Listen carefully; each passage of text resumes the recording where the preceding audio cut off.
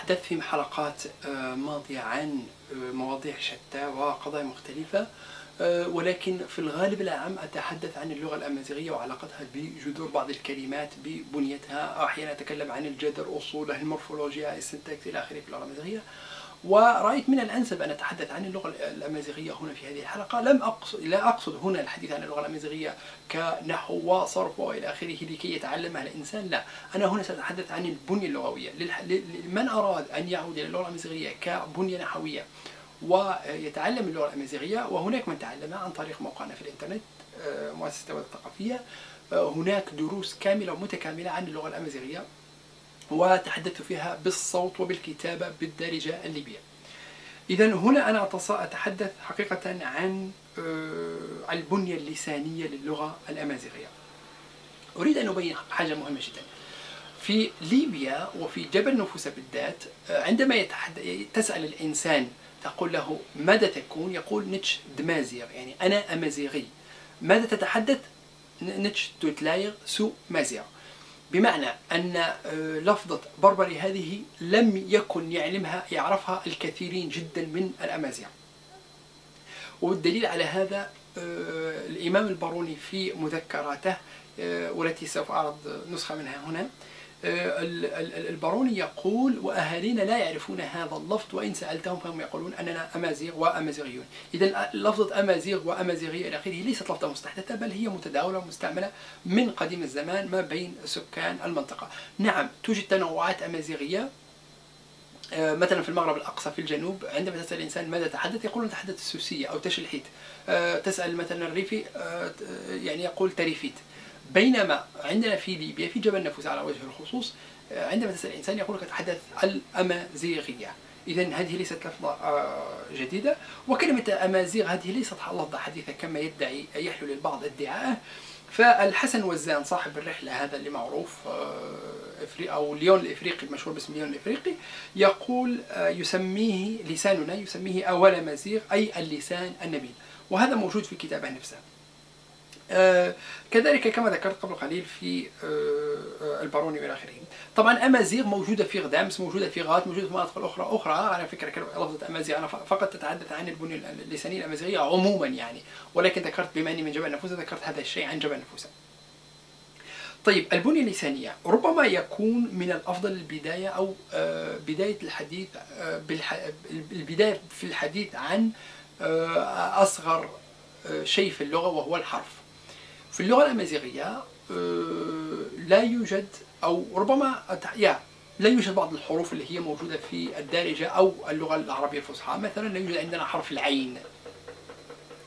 فحرف العين في اللغة الأمازيغية يعتبر آه، دخيل آه، حتى فترة قريبة لا يستطيع أهالينا أن ينطقوا حرف العين. فهم مثلا يعني من أبسط الكلمات آه، لا يقال مثلا أعراب باللغة العربية بحرف العرب عربي أو كذا يقول لأننا نقول أعراب نحن في الأمازيغية. فنقول أراب من غير حرف العين أراب أمود بدل من عمود إلى آخره.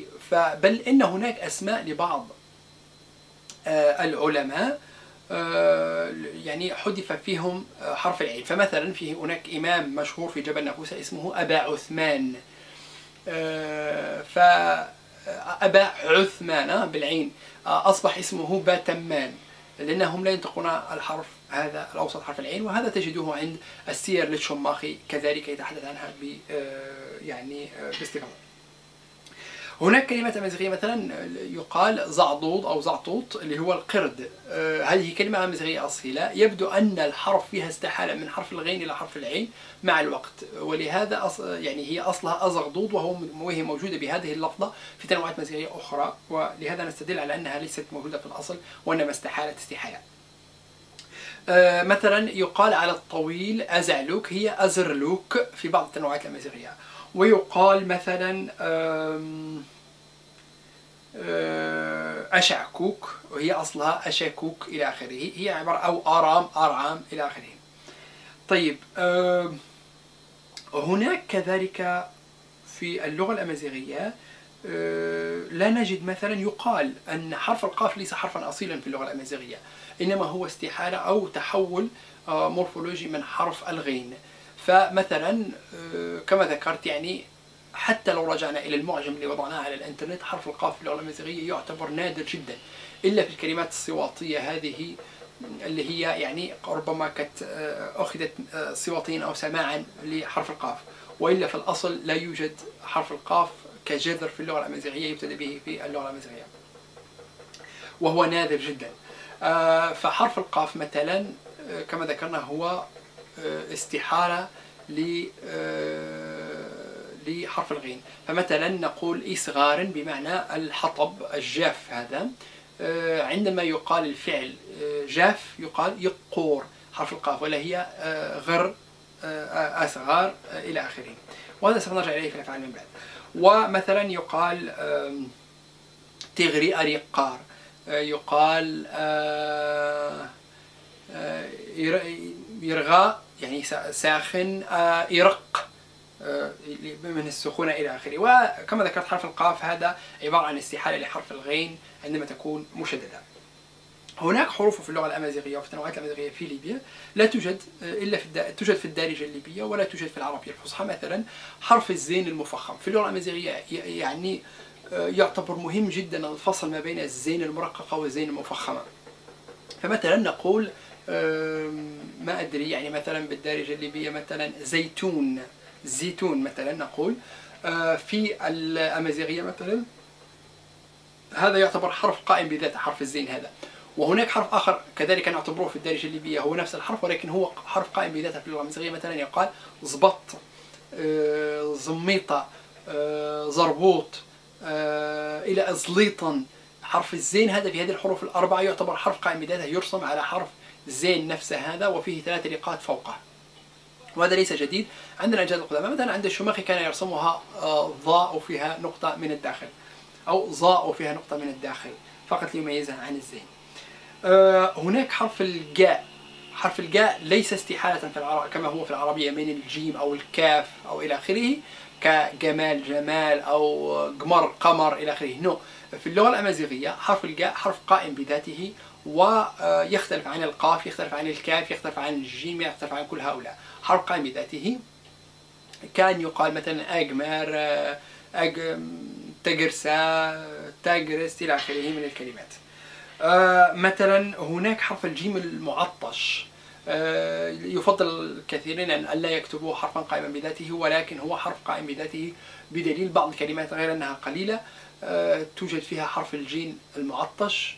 بنفس الحروف بنفس كل شيء ولكن يختلف في معناه فمثلا يقال ربما في تنوعات مدغية كثيرة يقال جيم بمعنى يجا يجا بمعنى رائحته آه، جميلة ويجا رائحته كريهة لاحظ كلمة يجا يجا. واحدة مغلظة واحدة مخففة وأعطوا معنى مختلف جدا والأمثلة آه، موجودة. كذلك يعني آه، حرف الراء المرقق وحرف الراء المفخم. حرف الراء في اللغة العربية مثلا لا يأتي مرققا إلا في حالة الكسر. في اللغة الأمازيغية لا. حرف الراء المرقق والمغلظ ليس لهما يعني إلا سمعيا ليس لهم قاعدة ثالثة مثلا. فحرف الراء مثلا في اللغة العربية المرققة هذه مثال عليها. نقول فريق. فريق. في اللغة العربية الفصحى أقصد في الدرجة الليبية نقول فريق. راء فريق. وهي غير جائزة في اللغة العربية إلا أنها في اللغة الأمازيغية موجودة كما ذكرت في أمثلة كثيرة. تقريبا هذا الذي هذه الحروف الزائدة في اللغة الأمازيغية التي توجد في العربية الفصحى وتوجد في الدرجة الليبية هناك بعض الحروف اللي هي مش موجودة البتة في اللغة الأمازيغية فحرف الثاء المثلثة ليس موجود في اللغة الأمازيغية حرف الذال المعجمة ليس موجود في الأمازيغية حرف الضاء ليس موجود في الأمازيغية حرف آه، الطاء في الأصل غير موجود ولكن هو استحالة حرف الضاد وهي تحويل مورفولوجي إلى آخره هذا موضوع آخر. وكما آه، ذكرنا الألف عفوا آه، لم أذكر هذا من قبل ولكن الهمزة القاطعة لا توجد في الأمازيغية. مثلا لا يقول لا يقال أ آه، مثلا همزة قاطعة مثلا إلا في ثلاث حالات في حالة النداء في حالة التعجب وأظن حالتين حالة نداء وحالة تعجب وحالة السؤال. نعم أو الاستفسار أو كذا أو التنبيه عفوا التنبيه. في حالة التنبيه في حالة التعجب في حالة في هذه الحالات الثلاثة. فحرف النداء الهمزة القاطعة هذه يقول طاهر بن عاشور في التحرير والتنوير التفسير المعروف. يقول في مقدمته يقول اختار أهل المغرب رواية ورش. أه؟ أو آه، كما هو الحال عندنا في بعض المناطق في ليبيا ورش كانت هي السائدة والآن أصبحت قانون. رواية ورش لأنها يعني سه... آه، لأنهم لا لا توجد لديهم همزة قاطعة. فنحن لا نقول مثلا حتى بالدارجة الليبية لا نقول آه، ذئب. أو أو بئر وإنما نقول ديب وبير. ولا نقول يعني ألفاظ كثيرة أخرى. إذا الهمزة القاطعة غير موجودة في اللغة الأمازيغية فاختاروا هذه الرواية لتسهل عليهم النطق. ولا نقول الأمين نقول لمين إلى آخره. طيب هذا تقريبا بالنسبة للحروف آه، نأتي بعد ذلك إلى آه، بعض نأتي إلى الأسماء. الاسم المفرد المذكر باللغة الأمازيغية يبتدي في غالب الأحيان آه يعني تقريبا في يعني الغالبية العظمى من الكلمات اللي يبدأ بها في اللغة الأمازيغية في المفرد المذكر أقصد تبدأ بأ وإي وأو أ إي أو مثلا يقال أرجز على الرجل مفرد مذكر. ويقال مثلا إيمي إي عن الفم. ويقال أو أوشن عن الذئب. ففي آه، غالب الأحيان كما ذكرت في هذه الصيغة الثلاثة وفي جميعها كذلك آه، في الغالب يكون على هذه الطريقة.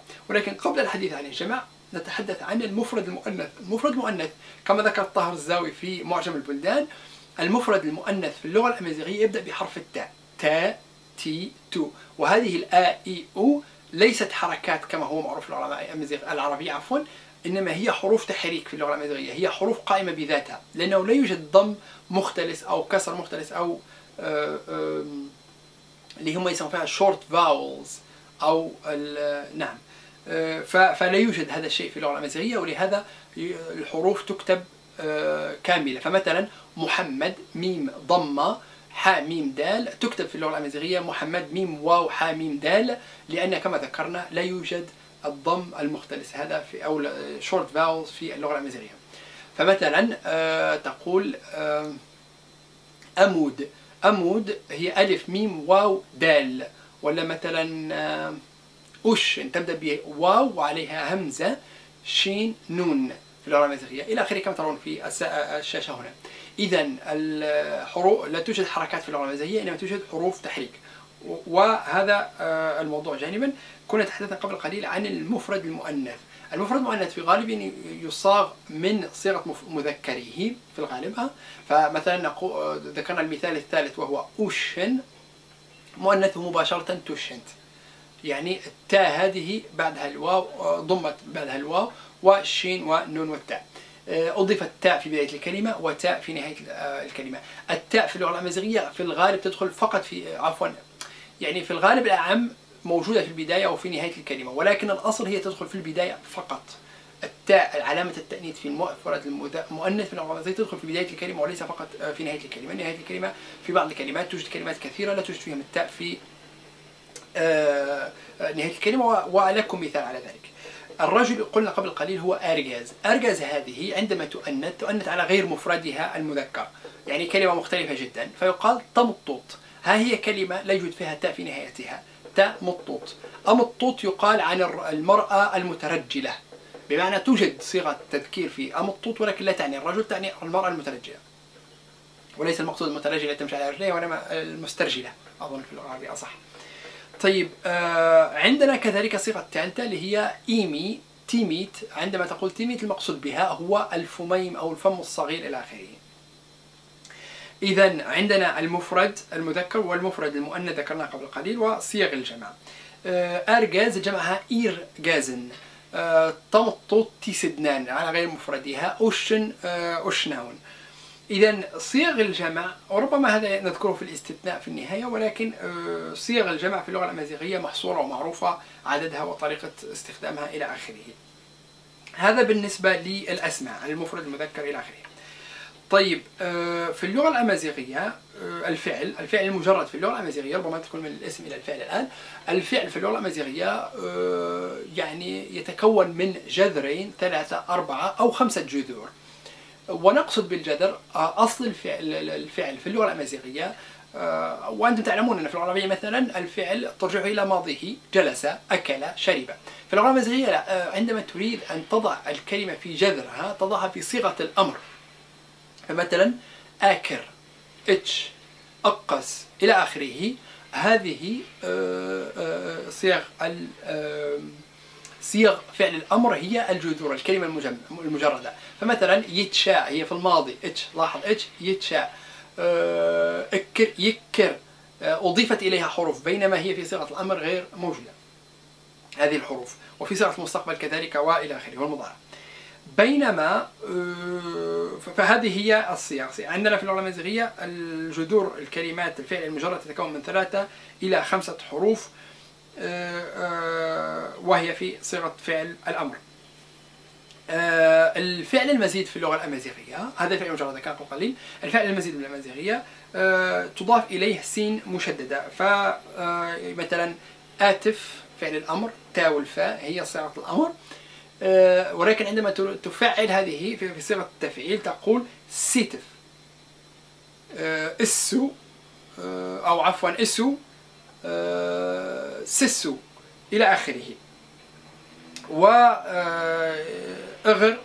صغراي وإلى آخره أمثال كثيرة.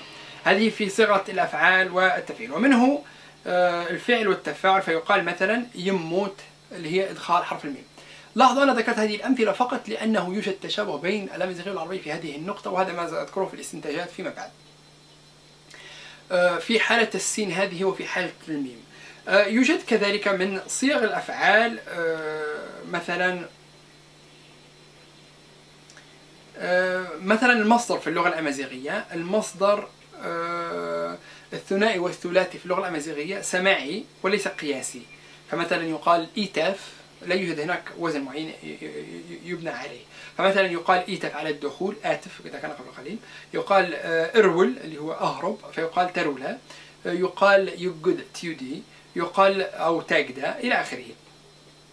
إذا آه، لاحظوا معي أن المصدر في اللغة الأمازيغية اللي هو مصاغ على الفعل الثنائي والثلاثي الجذر يعني سماعي وليس قياسي. كذلك اسم الفاعل.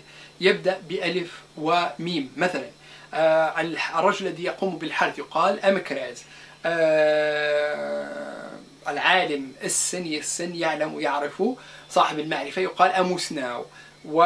والراكب أو الفارس يقال أمناي. آه الصديق يقال أمداكل إذن الألف والميم تدخل على أسماء الفاعل. أسماء المفعول لا يشتق طبعا آه، اسم المفعول من فعله إلا نادرا في اللغة الأمازيغية لا آه، وليس كما هو في آه، اللغة العربية. اسم المكان يضاف إليه ألف والسين. اسم الآلة كذلك يضاف إليه ألف والسين. وفي اللغة الأمازيغية يوجد كما هو في اللغة العربية ثلاثة أزمنة ماضي مضارع وحاضر عفوا عربة ماضي مضارع ومستقبل الفعل المتعدي مثلا باللغة العربية لا يقابله فعل متعدي باللزوم في اللغة الأمازيغية. آه، يكون فعل لازم والى آخره وهذا كثير جدا. هناك الفعل المتعدي والفعل اللازم فيوجد كلاهما في اللغة الأمازيغية ولكن آه، يعني لا يوجد مقابلات بين الاثنين بحيث أن يكون هذا إذا كان في العربية فعل لازم فيكون في العربية مباشرة فعل لازم لا. يكون أحيانا فعل لازم واحيانا يكون فعل متعدي. آه، والأمثلة على ذلك مثلا آه، أمكلي أمنسي إلى آخره. لا يقال آه، مكليغ أو منسيغ وإنما يقال تشيغ أمكلي تشيغ أمنسي إيجيغ حتى هي تستخدم في إضفاء أو جعل الفعل المتعدي فعل لازم فعل لازم فعل متعدي في حالة رفعه طيب هذا من ناحية الأفعال يعني أنا ذكرت حقيقة أردت من هذه العجالة أني أعرف فقط تعريف عام عن آه، الجذور والأفعال وصيغ التفعيل إلى آخره في اللغة الأمازيغية وأنطق بعض الكلمات إليكم لتبين لكم ربما الصوتيه الأمازيغية. آه هذا يعني لما ذكرت صيغة الفعل ربما أذكر كذلك الحروف، الحروف في اللغة الأمازيغية جدا مختلفة جدا عن شقيقتها أو أختها آه آه، عفوا هو في الشقيق والأخت ربما حتى لا يفهم كلامي غلط. آه، مثلا عربية شقيقتها هي العبرية وكذا. ولكن أقصد بالشقاقة أنهما يعني آه، يملأ الحيز البلاد الليبية كلاهما. ففي اللغة العربية مثلا يعني مثلا الحروف لا يوجد لها لم أجد أي حرف مقابل باللغة العربية مقابل بالامازيغيه حتى يقال إن اللغتين متشابهتين. فمثلا آه، في اللغة الامازيغيه مثلا يوجد الكي فعل الكينونة اللي هو مثلا مثل الإنجليزية. نقول هي از أمان بينما في العربية نقول هو رجل يعني هو رجل. آه، في اللغة الأمازيغية كذلك لا نستطيع أن نقول هو رجل. نت ارجاز لا. يجب أن نضع بينهما حرف الكينونة الدال يقول نت إد ارجاز نتش إد مازيغ. طبعا آه، مش هكذا نتكلم إد نعطش بهذه الطريقة وإنما أردت فقط أن أبين لكم نتش دمازيغ دمازيغ هكذا تنطق أو نتش دارجاز أو نت تمطط إلى آخره فالدال هذه تكون من ضمن الحديث. اذا أنا أكون رجلا هي تكون آه، هذا يكون حصان إلى آخره. يكون يجب أن تدخل في آه، في فعل الكينون وهو أيضا يعني ما يميزها عن اللغات السامية. كذلك حروف المعاني التي ذكرتها قبل قليل. هناك حروف في اللغة الأمازيغية تستخدم للإضافة وحروف تستخدم إلى آخره. مثلا تامورت نورغاز ولا آه، تامورت ميدن بلاد الناس أغرم نوفيرنو إلى آخره. وهذا آه، حرف التحريك هذا سوف يقودنا إلى ما يسمى بالإعراب في اللغة العربية. لا يوجد شيء اسمه إعراب في اللغة الأمازيغية ولكن توجد حالات تغييرات مورفولوجية في اللغة الأمازيغية ربما تجاوزا سوف نسميها إعراب لأن يوجد ما يقابلها في اللغة العربية الإعراب أو التغيير المورفولوجي في اللغة الأمازيغية لا يحدث إلا في بداية الكلمة لا يحدث في نهاية الكلمة ويحدث في آه، أربع تقريبا حالات. في حالة المبتدأ والخبر في حالة المضاف والمضاف إليه وفي آه المفعول آه، المفعول به أظن وحالات أخرى. فمثلا يقال تقريست آه، وغرو رغيف الخبز بالعربية رغيف الخبز. ولكن باللغة الأمازيغية لو ترجمنا حرفيا رغيف من الخبز إن وغروم أو لا أدري إذا كانت تترجم حرفيا هكذا أم لا ولكن يجب إدخال هذه النون ليفهم الكلام. فتقريس أغرم ما تجيش في اللغة الأمازيغية فمثلا في حالة أخرى والتغيير المورفولوجي أو النحوي الذي يحدث هنا كما ذكرت قبل قليل أنه يحدث في بداية الكلمة. لاحظوا أن أغروم هو الخبز. أغروم. ولكن عند إضافتها يقال تقرس وغروم. وغروم. أصبحت واو. وفي حالة التأنيث تحذف آه، الحرف الثاني بعد التاء يحذف مباشرة. فمثلا آه، أصغون نتفوناس. بدل من أصغون تافوناس اللي هي البقرة حبل البقرة أصغون نتفوناس وليس تافوناس اللي هي اسم البقرة. والأمثلة على ذلك كثير ونحن لا نرجع على هذا ولكن فقط لأبين أن الإعراب في اللغة الأمازيغية يحدث في بداية الكلمة وليس في نهايتها. كذلك آه، كما ذكرنا حروف التحريك في اللغة الأمازيغية ربما نذكره بإسهاب أكثر عندما نقارن بينه وبين اللغات الأخرى التي يقال أن الأمازيغية تنسب إليها. ولكن الآن دعونا ندخل في المادة المعجمية المعجم في اللغة الأمازيغية يتكون من قسمين وأحد الأقسام هذه مقسم إلى قسمين. هناك معجم اشتقاقي كما هو الحال في آه، كثير من اللغات أنك تأتي بالفعل الأول وتشتق منه مجموعة من الأفعال. فمثلا قبل قليل ذكرنا أن أمناي اسم الفاعل جاء من إني إني يعني اركب أمناي الراكب إلى آخره. آه، أمكرز جاءت من الفعل إكرز. إذا اشتقينا منها اسم فاعل أو اسم مفعول وصيغ كثيرة جدا نستطيع أن نشتقها من جذر الفعل. ولكن هناك طريقة أخرى تتميز بها اللغة الأمازيغية هي آه، طريقة التركيب. تركب كلمتين وتقصى وليس كلمتين آه، آه، وحدهم. وتعرفون أسماء بعض المناطق في ليبيا مركبة تركيب.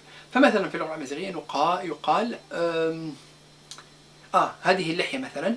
يقال هذا العظم هذا عفوا ليس اللحية اللحية تسمى تمرت والعظم يسمى آه، إغص. لاحظوا لما نسمي هذا الحنك هذا نسميه في اللغة الامازيغيه تغص مارت يعني إغص وتمرت. كلاهما ملحومين في كلمة واحدة إغص ومارت هذا العظم هذا أو عظام القفص القفص الصدري تسمى آه، أو هذا الحجاب الحاجز بالتحديد يسمى في اللغة الأمازيغية مثلا إغص ديس. إغص اللي هو العظم أديس اللي هي البطن. إغص ديس اللي هو الحجاب الحاجز. والأمثلة على هذا كثيرة في اللغة الأمازيغية ككلمات آه، مثلا يقال عن آه، المظلة وليس المظلة بالمعنى الحديث وإنما آه، يعني مثلا القبعة هذه الكبيرة التي كان يضعها أجدادنا إلى آخره تسمى تارزة تار ربما هذه لا تدخل في قسم عفوا أنا أخطأت هنا. لا تدخل في قسم اللحم وإنما قلنا إلى موضوع آخر وهو نوع ثالث من الاشتقاق في الأمازيغية اللي هو إدخال الكواسع والصوادر الصوادر. والكواسع هي كلمة عربية لا توجد في اللغة العربية كنحو وإنما أخذت من اللاتينية اللي هي suffix و prefix.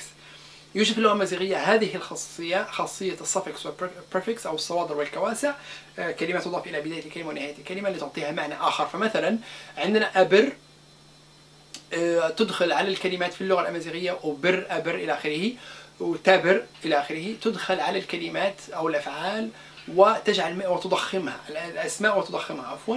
فما نقول مثلا بركوكس هذه كلمة نقول هي بركوكس. آه، بركوكس هي كسكسي هذه وضعت عليها بر في بداية الكلمة فأصبحت منها بال يعني رز آه، آه، غليظ. الرجل الشجاع والقوي يسمى أبرجاز أبركوس اللي هو خروف الأضحية والعيد أبرجن اللي هي الخيمة مدينة برجن المعروفة في ليبيا. أبر أبر إلى آخره تدخل في كلمات كثيرة فتجعل منها حتى المرأة عندما يعاب عليها لا عفوا ليست المرأة وإنما الرجل عندما يقال أنه شجاع وقوي يقال أب آه، تد تيجمي أبرجمي اللي هي البيت الضخمة والكبيرة إلى آخره. والأمثلة على ذلك كثير من التنوعات الأمازيغية آه، الأخرى. يوجد كذلك آه، مجموعة كما ذكرت من الصواع يعني المثال الذي قلته من هذه المظلة التي توضع على الرأس أو الطاقية يقال مثلا ترازا تار. تار يعني ترد آزا اللي هو شعاع الشمس. فالتحمت الكلمتين وأعطتنا كلمة تارزا بمعنى القبعة. آه، يقال مثلا آه، أمثلة كثيرة جدا. يوجد مثلا في ليبيا أحيانا صوادر لبعض الكلمات نجدها مثلا أورشفانة أور آه، أورفلة أور أورجلة أور إلى آخره. في هذه الحالات يوجد كما ذكرت هذه الصوادر وكواسع في حالات أخرى. إذا عندنا ثلاث أنواع من الاشتقاق في اللغة الأمازيغية عندنا اشتقاق مباشر من جذر الفعل عندنا اشتقاق من لحم كلمتين على بعضهم وعندنا الاشتقاق الثالث اللي هو بإدخال الصوادر والكواسع في اللغة الأمازيغية. آه فذكرنا قبل قليل أن في اللغة الأمازيغية أو في حروف المعاني نجد اختلاف كبير جدا بين اللغة الأمازيغية قبل هذا كله وبما أني ذكرت المعجم ربما يكون من الأفضل الحديث عن وجود بعض الكلمات المتشابهة والمتداولة في الحوض البحر الأبيض والمتداولة كذلك في دول الشرق. فيا إخوانا أن المعجمية لم تكن يوما من الأيام هي الوسيلة الوحيدة لمعرفة تقارب لغتين أو أكثر. فكما نعلم أن المعجم ينتقل من لغة إلى أخرى. يوجد في الدارجة الليبية مثلا كلمات باللغة التركية كلمات كثيرة. شيشمة كشيك إلى آخره. آه، باللغة الإيطالية مارشابيدي آه، بالو صاليتا إلى آخره. يوجد مثلا كلمات الآن دخلت في اللغة من اللغة الإنجليزية. يوجد كلمات مثلا إلى آخره. إذا طبعا من غير الحديث عن الكلمات الموجودة بكثرة في الدرجة الليبية من أصل أمازيغي إلى آخره فكورونا ما أعرف. يعني هذا اللي تعرفوهم أنتم مدان إلى آخره. طيب إذا المعجم وحده لا يكفي. آه، توجد كذلك كما ذكرت أنا قبل قليل يوجد كلمات في اللغة العربية آه، الدرجة الليبية عفوا من أصول أمازيغية. كذلك توجد في اللغة الأمازيغية كلمات لم يعد العرب ينطقونها أبدا. فمثلا يقال عن الفراش ما بين آه، البردعة هذه التي توضع على الحمار والحمار. هناك يعني جزء صغير يوضع عليها يسمى باللغة الأمازيغية أحلاس. أحلاس هذا الحلس باللغة العربية الفصحى. لا أظن أن في الدرجة الليبية موجود ولا موجود واحدة ربما عند آه، عرب المشرق في دول الخليج. ونقول مثلا عن عن الشخص عندما نسأله عن حاله نقول ما كرهتنك يعني كيف حال أهلك؟ الرهط وهي كلمة موجودة في القرآن تعني الأهل الأقارب إلى آخره. فقد استعار الأمازيغ كلمات كثيرة من العربية كما أن الدارجة الليبية استعارت كلمات كثيرة من اللغة الأمازيغية. إذا عملية الاستعارة وإلى آخره لا تعني ولا تثبت شيء من نحمة نسبة يعني هذا بعد الإسلام. قبل الإسلام توجد كلمات مشتركة ما بين آه، اللغة الأمازيغية واللغات المتوسطة كما ذكرت. فمثلا دم تسمى إدام الجدر داميم في اللغة الأمازيغية آه، مثلا آه، إلس اللسان في اللغة الأمازيغية يبدو في الوهلة الأولى أنهما نفس الكلمة ولكن ألس في اللغة الأمازيغية هو آه، عديم الشعر. ففي اللغة الأمازيغية لها جذر هذه الكلمة كلمة لسان. لا أدري في اللغة العربية من أين أتت ولكن توجد كذلك في المصرية وتوجد في العربية الفصحى وتوجد في العبرية وتوجد في لغات متوسطية أخرى كالفينيقية إلى آخره. يوجد مثلا كما ذكرنا الدم ذكرنا اللسان ذكرنا بعض الكلمات اللي هي متخذة وموجودة هذه حتى قبل الإسلام بدليل أنها كلمات أصيلة في اللغة الأمازيغية نفسها. طيب آه هذا من الناحية المعجمية. نعود إلى يعني أكثر حاجة ينظر إليها العلماء هي حروف التحريك في معرفة أصول اللغة. حروف التحريك أو ما يسمى آه في اللغة العربية كما يقال كما يقول ابن أجروم الكلام وهو الوضع اللفظ الملقب المفيد بالوضع اسم وفعل وحرف جاء لمعنى. ولهذا نسمي في اللغة العربية حروف المعاني. واسم وفعل وحرف جاء لمعنى فالاسم يعرف بالخفض والتنوين دخول ألف واللام إلى آخره والحروف هي من وإلى وعن وعلى وفي ورب والكاف إذا محصور هذه الحروف في اللغة العربية. في اللغة الامازيغيه كذلك عندنا الحروف لا نجد لها مقابل لا في العربية ولا في اللغات المتوسطية الأخرى وهي مشتركة بجميع نوعات الأمازيغية السين الزين الدال النون إلى آخره الياء إلى آخره كحروف تستخدم آر آل إلى آخره من الحروف المستخدمة في اللغة الأمازيغية حروف معاني. فهذه الحروف مثلا لا تتغير كثيرا في اللغات غالبا لا تتغير كثيرا في اللغات. لسبب بسيط جدا لأنها حروف صغيرة وتعرضها للتغير سيكون قليل جدا وتعرضها للتحريف يكون قليل جدا. إذا عندنا الناحية المعجمية عندنا ناحية الفعل عندنا ناحية الحروف هذه. إذا يعني وجود بعض الكلمات في اللغة الأمازيغية ووجود تشابه في قضية الجمع في اللغة الأمازيغية في أنواع من الجموع متشابهة بين العربية والأمازيغية وجود تشابه مثلا ما هي المتشابهات في اللغة العربية والأمازيغية. أه الحقيقة الفرق كما رأيت مثلا في الحروف بين الأمازيغية والعربية الفرق ليس شاسع جدا البون ليس شاسع جدا مثلا كما يوجد مثلا بين العربية والهندية أو السنسكريتية أو الهندي أوروبية أو اللغات الأخرى هناك بون شاسع في نطق الحروف. ولكن في الأمازيغية صحيح هناك فوارق ولكن هذه الفوارق ليس بعيدة ليست بعيدة جدا بحيث أن الإنسان لا يستطيع نطق أي من الحروف الموجودة في اللغتين والدليل أن هذه الموجودة إن إنها حروف قائمة بذاتها في الأمازيغية وحروف غير قائمة بذاتها في العربية. فهذا قضية قضية الحروف التشابه في الحروف قضية التشابه في عمليات صيغ الجمع الموجودة من ناحية يعني وجود الجذور الثلاثية والرباعية وهي السائدة الجذور الثلاثية والرباعية هي السائدة في جذور الأفعال في اللغة الأمازيغية كما هو الحال في اللغة العربية. مثلا أفعال الاستفعال مثلا في اللغة العربية تبدأ بالسين كما ذكرنا. يعني مثلا الفعل المضارع المجرد يبتدئ بالنون في اللغة الأمازيغية كما هو الحال في اللغة العربية. لهذه المعطيات الموجودة أو خمسة ستة معطيات هذه اللي ذكرتها. نحى بكثير من العلماء إلى القول بأن اللغة الأمازيغية هي لغة حامية سامية أو هندية عفوا يسموا فيها الإفريقية الآسيوية أفرو أزياتيك ولكن هناك علماء آخرين يرون أن هذه الأشياء ليست موجودة فقط في هذه المنطقة ولا يمكن يعني الاعتماد عليها هي فقط كونها لغات حامية سامية أو لغات أفريقية آسيوية. ربما يعني لهذا السبب ولكن وجود كذلك فوارق أكثر بكثير من هذه الأشياء التي تجمعها مع اللغات السامية كالعربية والعبرية وإلى آخره الأرامية. جعل العلماء كما ذكرت يقولون أن هي لغة سامية يعني لغة قائمة بذاتها في القسم الحامي وتستفيد من البنية اللسانية في اللغات السامية. بعض العلماء يقولون أن هذه مجموعة بسيطة من التشابهات وهي موجودة وحاصلة. يوجد كذلك فوارق كثيرة جدا لما منه من هذه الفوارق. مثلا كما ذكرنا وأهمها البنية المعجمية اللي هي طريقة اشتقاق اللغة الأمازيغية مثلا لأفعالها ولأسمائها وأسماء الفاعل وإلى آخره. كذلك الصياغات التي توجد في الأفعال في اللغة الأمازيغية الأفعال تدخل في بداية الكلمة ونهايتها والجدل يبقى ثابت إلا في حالات نادرة. وكذلك الضمائر. الضمائر في اللغة الأمازيغية مختلفة تماما الاختلاف مع الضمائر في اللغة العربية. أقصد الضمائر قائمة بذاتها هناك الضمائر المتصلة والمنفصلة وهذا موضوع ربما يكون شائع قليلا ولكن الضمائر المتصلة في اللغة العربية هي ضمائر منفصلة في الأمازيغية والضمائر المنفصلة في الأمازيغية هي ضمائر منفصلة في العربية. إذا لا يوجد ضمير متصل في الأمازيغية يوجد ضمير فقط منفصل. وسبب الانفصال أنه هو يتغير في مكانه في الجملة إلى آخره. ولهذا لا يصح وضعه مع الأفعال. يوجد مثلا قضية السنتاكس أو البنية بنية الجملة مثلا في اللغة الأمازيغية. لا تأتي بنفس المعنى في اللغة العربية ولا تستقيم في اللغة العربية. فعل الكينونة كذلك يوجد في الأمازيغية ولا يوجد في أي لغة من اللغات السامية من ضمنها العربية. آه، كذلك اشتقاق الأفعال بعض الأفعال وكذلك صيغ التفعيل والتفاعل آه، كذلك يعني وجود أشياء كثيرة آه، يعني تستبعد أن تكون اللغة الأمازيغية يستبعد من خلالها العلماء أن تكون اللغة الأمازيغية لغة حامية سامية أو أفريقية آسيوية كما يقال في الوسط العلمي أفرو أسياتيك. آه هذا يعني فقط على عجاله البنية اللسانيه للغة الأمازيغية وإلا الحديث فيها يطول.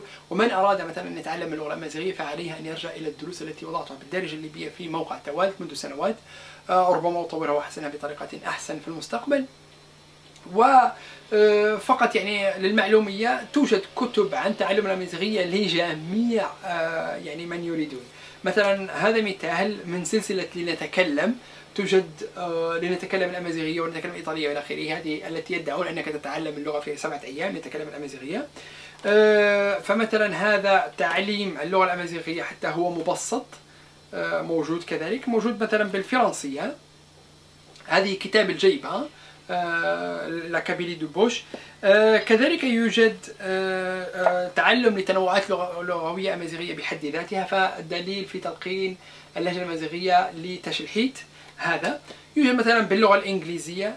لمن أراد أن يتوسع آه، آه، قليلا في اللغة الأمازيغية فعليه مراجعة مثلا 44 قرن موجود على موقع توالت لمحمد شفيق أو عفوا 44 درسا في اللغة الأمازيغية لمحمد شفيق. هناك كتاب رائع جدا مدخل آه، إلى اللغة الأمازيغية من منشورات إركام لا أدري إن كان يوجد في موقعها أم لا. هناك محاولات يعني قديمة جدا لتعليم اللغة الأمازيغية مثل هذا الكتاب قام به بعض الشباب في آه، منطقة آه، في الجزائر في المناطق الشوية بالنسبة لليبيا نشرت مؤسسة التوالي الثقافية آه، ضمن بعض الكتابات مثلا إغاثة ديبريد هذا فيه جزء مهم جدا عن النحو الأمازيغي وهو موجود متوفر في موقع لتحميله على بي دي اف يوجد دراسات في لهجة غات وهو منشورات مؤسسة التوالي الثقافية كذلك عن التنوع الأمازيغي لغات. التنوع الأمازيغي لواحد غدامس كذلك أي تعديم سقار كذلك منشورات مؤسسة التوالي الثقافية.